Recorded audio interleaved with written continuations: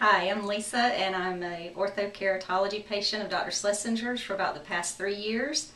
And I just I have really had a good experience wearing the contacts. All you do is put them in at night before you go to bed, and take them out in the morning, and you just sleep in them. You don't have to worry about the hassle of the regular contacts all day. I teach a preschool, and every now and then mine would fall out just in the middle of teaching, and you'd have to find it. You don't have to worry about that anymore.